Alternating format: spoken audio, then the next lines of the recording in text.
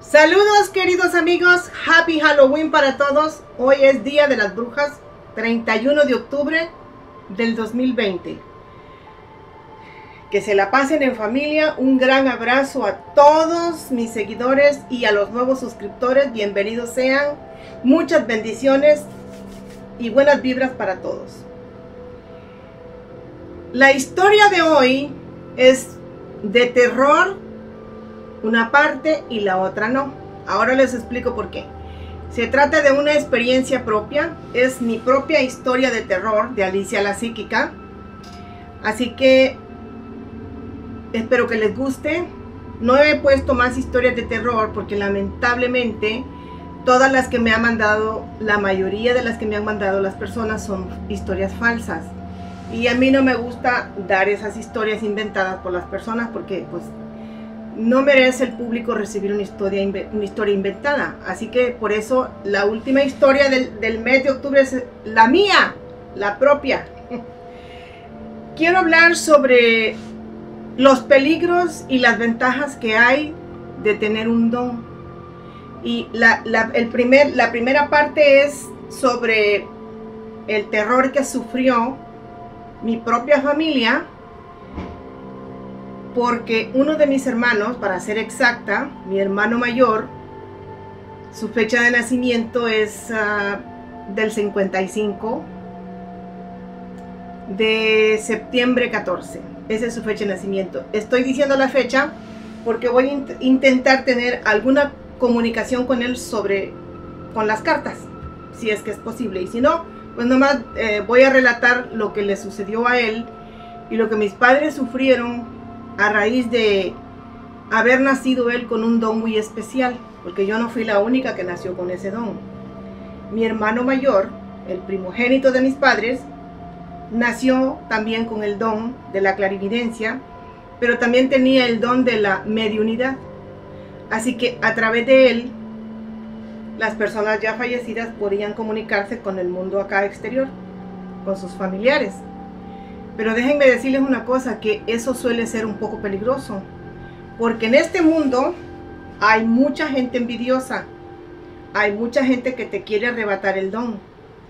A mi hermano desafortunadamente le sucedió eso.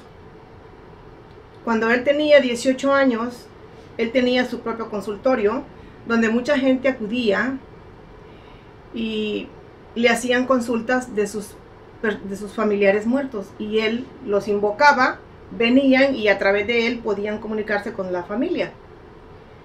Eso es un poco peligroso porque no tenemos control qué clase de espíritu va a venir y se nos va a meter en nuestro cuerpo. Puede ser el espíritu de un demonio o de una persona que en vida fue muy mala y tiene sed de venganza y se puede meter en el cuerpo del, del medio, o sea, de la persona que está sirviendo como como vaso espiritual para comunicarse con la gente que está aquí en el mundo. Entonces, yo voy a preguntar a mis cartas, ay Dios, ¿qué pasó?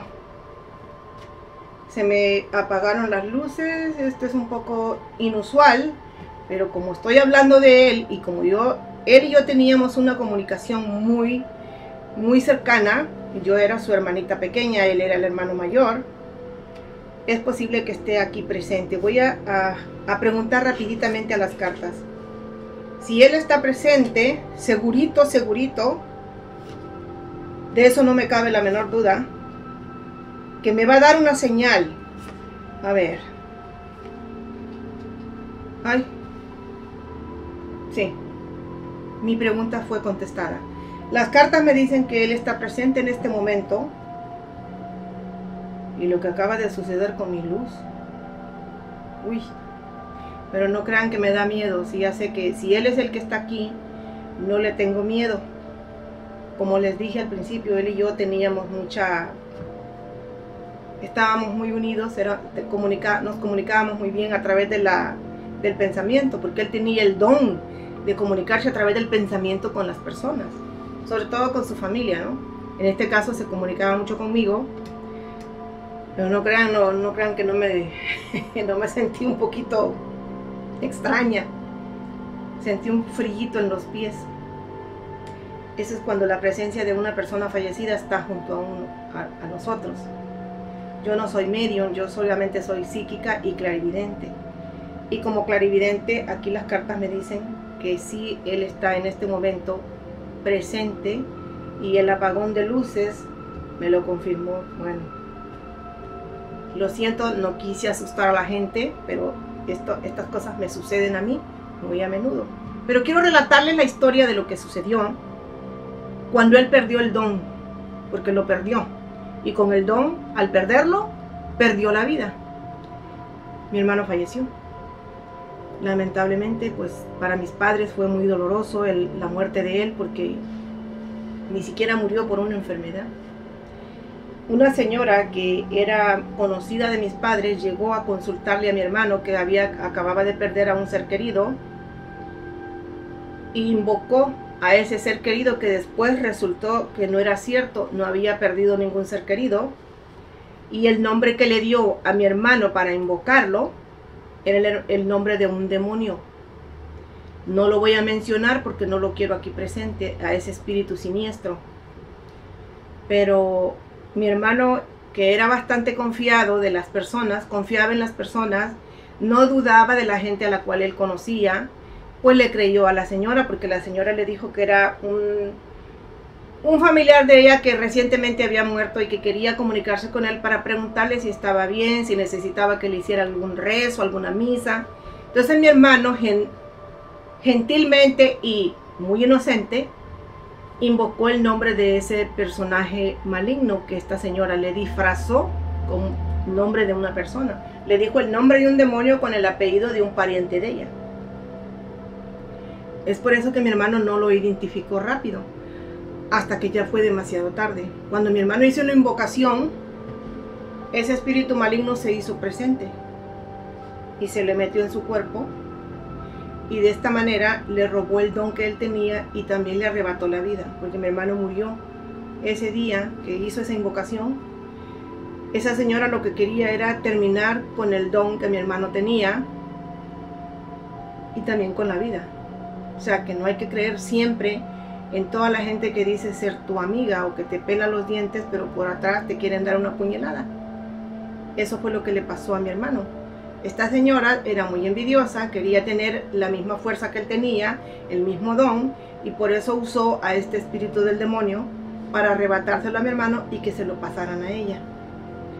Afortunadamente estaba vivo mi padre, que mi padre fue un gran espiritista y no permitió que el don de mi hermano se le pasara a esta infame mujer.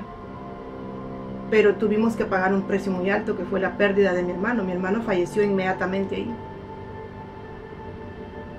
Pasaron los años y poco a poco nos hemos ido comunicando ya a través de la espiritualidad. Y siempre él se hace presente en algunas ocasiones especiales como el día de hoy, que no es porque sea el día de Halloween y el día de las brujas, es precisamente porque mañana empieza la celebración del Día de los Muertos. Mañana es el Día de las Ánimas Benditas del Purgatorio, de los santos, y el día 2 es el Día de los Difuntos. Para estas fechas es muy común que mi hermano se haga presente, pero no yo a mí no me gusta que él invocarlo ni nada de eso porque yo quiero que él descanse en paz, pero dice, me dice según mis guías espirituales que en este momento él está en paz, pero está muy triste por haber perdido la vida y por haber dejado a su familia, porque en su en el libro de la vida él tenía mucho tiempo, muchos años por vivir, pero contra el demonio es un poco complicado enfrentar una batalla.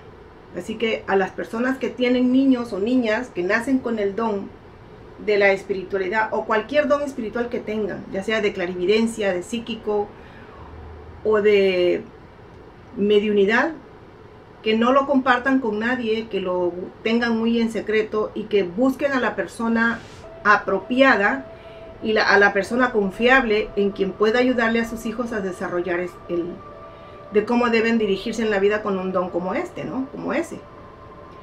Lamentablemente mi hermano no tuvo esa oportunidad porque pues él confiaba mucho en las personas Y mi padre, como ya él era mayor de edad, mi hermano ya no lo ayudaba, así que lo dejó que él solito se enfrentara a este mundo tan difícil que es el mundo de la espiritualidad. Y lamentablemente perdió la vida. En este momento él está aquí conmigo presente. Y me dice que me cuide mucho y que siempre no olvide que no debo dejar entrar a espíritus desconocidos en mi mundo espiritual. Yo no, yo no hago eso porque yo no soy mi, no tengo la mediunidad Así que no puedo invocar a nadie que venga y que se introduzca a través de mí para comunicarse con las personas. Yo no tengo ese don. Yo, mi don es nada más la clarividencia.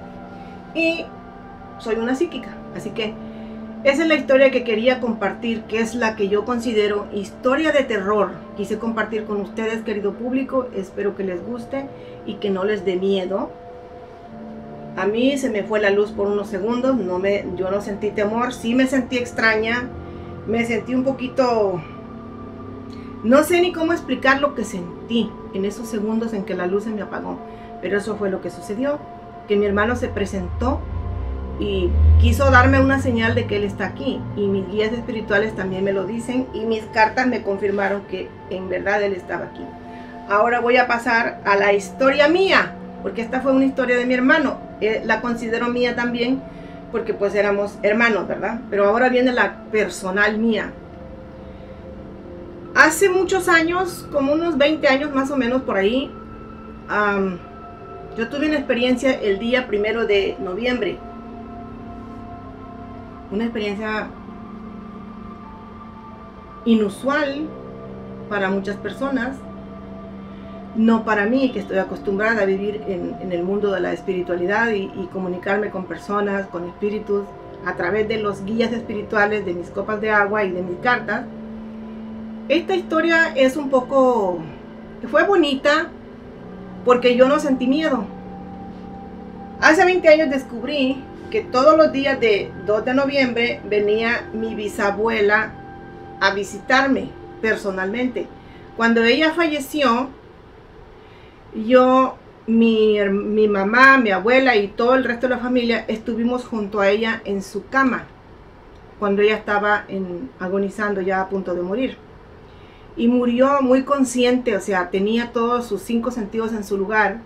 Y yo recuerdo una frase que ella me dijo una vez, ese día que ella falleció, que me dijo que siempre estaría a mi lado, que siempre me daría la forma de saber que ella estaba cerca de mí.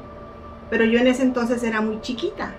Yo no lo comprendí. Con los años entendí lo que quiso decir ese día mi bisabuela, porque cuando yo tenía como unos 14 años, fue cuando la vi por primera vez sentada al lado, en, en la orilla de mi cama.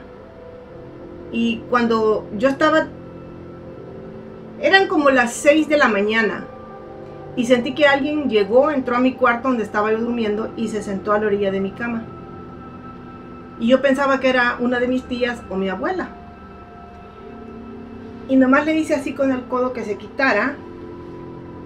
Y no se quitó, entonces volteé para ver qué, que por qué no se quitaba de mi cama. Y fue cuando me llevé la sorpresa que era mi bisabuela. Ella se llamaba Paulina. y la recuerdo muy bien porque yo crecí con abuela, bisabuela y mamá. Ella murió a los 98 años, ya era bastante mayor. Y yo toda mi infancia la viví al lado de ella. Ella me crió, ella me llevaba a la iglesia, ella me, peinaba, me hacía trenzas. Teníamos muy, bonito, muy bonita relación entre mi bisabuela. Tenía más relación con mi bisabuela que con mi abuela, porque mi abuela era muy gruñona y le gustaba fumar mucho y a mí no me gustaba el aroma del cigarrillo. Entonces con mi bisabuela me llevaba más. Ese día que la vi, tenía yo 14 años, que fue la primera vez, la vi así tal cual como ella era. Entonces comprendí el significado de las palabras que ella me dijo a la hora de su muerte. Y año con año, ella me visita, ella se acerca a mí, me hace sentir su presencia y me siento así como relajada, como en paz conmigo misma, en paz con todo el mundo, porque así era como ella hacía sentir a las personas. Una viejecita muy, muy buena, un alma de Dios. Y todos los años en estas fechas, el primero y 2 de noviembre, ella se hace presente. Vamos a preguntar a mis cartas si ella en este momento está aquí conmigo y porque hoy, hoy es 31, así que no, no estoy segura si ella... Ah, ya. Sí, sí está. Y lo que me está diciendo, un mensaje para la humanidad. Como yo la llamaba ella eh, de cariño, le, le, decía mamamina, porque ella se llamaba Paulina. Y yo le decía mamamina. Íbamos juntas a la iglesia, yo tenía como 5 o 6 años. Íbamos a la iglesia, me llevaba fuercecitas a veces, porque no me gustaba mucho ir a la iglesia. Pero ella me llevaba porque pues, yo la acompañaba a todos lados donde ella andaba.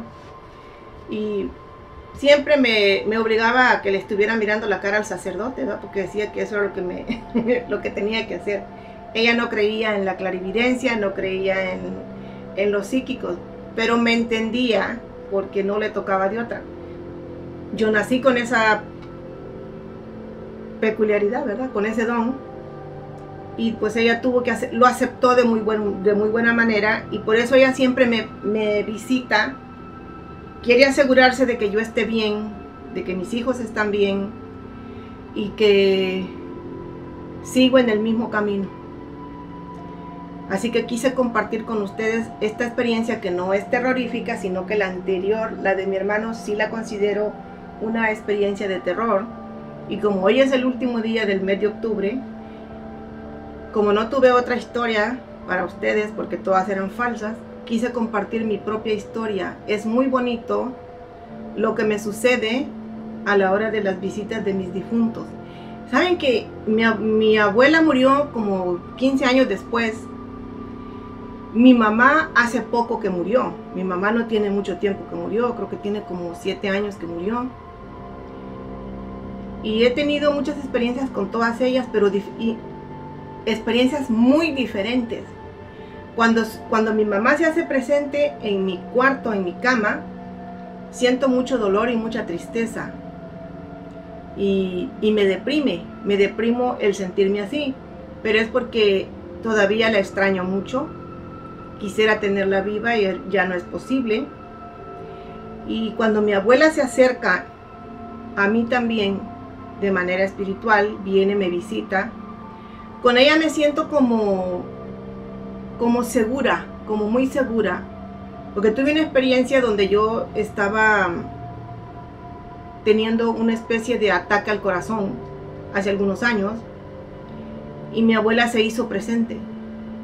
Y estaba yo en la cama ya casi a punto de terminar con mi vida y ella se sentó en mi cama y me agarró de los aquí de los hombros y me, me sacudió y me dio tremendas bofetadas y me regañó y me dijo, tú no te vas a ir a ningún lado, tú tienes que seguir aquí, tienes muchas cosas que hacer para las personas y no, hoy no es tu día. Con mi abuela me siento segura, cuando la siento cerca de mí sé que nada malo me puede suceder, sé que todo está bien, cuando mi bisabuela me visita me siento feliz, me siento contenta, porque recuerdo los años más bonitos de mi vida que era mi infancia. Cuando mi mamá viene, me siento triste y un poco deprimida. Triste y, con ganas, muchas ganas de llorar, al nomás de sentir su presencia. Es porque todavía le extraño, todavía siento la necesidad de llamar, de llamarle mamá a alguien. Lamentablemente ya no puede ser. Todas son cosas que se terminan con, la muerte. Y bueno, espero que esta historia personal mía les haya parecido interesante y por sobre todo que les haya gustado. Les deseo que tengan una buena celebración de Halloween, pero sobre todo que lo hagan en familia y de manera responsable.